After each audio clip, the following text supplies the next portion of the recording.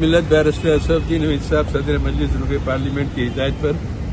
आज Hyderabad commissioner police C V Anand साहब से मजलिस का एक बहुत मुलाकात किया, जिसमें जाफ़र हुसैन मेराज साहब M L A Moazzam Khan साहब M L A Kausar Mohiuddin साहब M L A Riyazul Hasan Afandi M L C Aminul Hasan Jafri M L C ये तमाम लोग शामिल थे।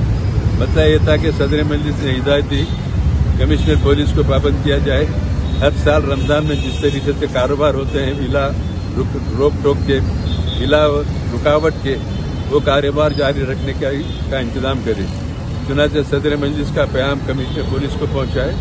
अल्लाह का करम है आज आज से कारोबार बिल्कुल सुकून से होंगे और कोई बाज़ार बंद कर नहीं कराया जाएगा। कोई रुकावट किसी महकमे की तरफ़ से नहीं होगी। कारोबारी लोग आज़ादी के साथ पुरअमन तरीके से पुरसकून माहौल में कारोबार करेंगे। और ये इंतज़ाम महकमे पुलिस की तरफ़ से हुआ है कि कोई भी दुकान को, कोई भी कारोबार को रुकावट पुलिस की तरफ़ से नहीं होगी, न कोई कारोबार बंद होंगे।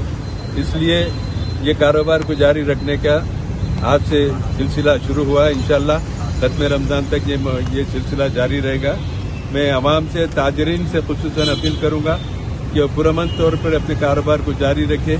और किसी की बातों में ना किसी के के बहकाए में ना है, न कोई अफवाहों कान दे रहे। नकीब मिलत असदुद्दीन अवैसी साहब की हिदायत पर मजलिस का बस आज मुलाकात किया और ये पाबंद किया। सदर मजलिस का बयान पहुँचाया कि हर साल जिस तरीके से कारोबार रमज़ान में होते हैं, वही कारोबार जारी रखे जाएँगे। किसी किस्म की रुकावट, कारोबारी लोगों को नहीं होना चाहिए। चुनाचे प्याम कमिश्नर तक पहुँचा दिया गया है। और कमिश्नर साहब ने भी वादा किया है। आज से कोई दुकान, कोई कारोबार रुकावट नहीं रहेंगी। बिला रुकावट के, बिला दुकान बंद हुए के कारोबार जारी रखेंगे। पुरमन तरीके से लोग कारोबार करें इंतजामिया के साथ ताउन करें। अगर कहीं कोई रुकावट है, कुछ है तो आप मंजिल के काउंसलर एम एमएलए को इतला करें।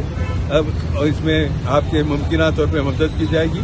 लेकिन जो लोगों में तशवीश थी, बेचैनी थी तो सदर मजलिस जो इन दिनों उम्रे में है वहाँ से उन्होंने पैम भेजा, उनकी पैम पर पहुँचा कर कमिश्नर पुलिस से भी बात करके निकले हैं। इंशाल्लाह अलहमदिल्ला रमज़ान के करार, तमाम कारोबार पुरसुकन अंदाज में होंगे। शुक्रिया।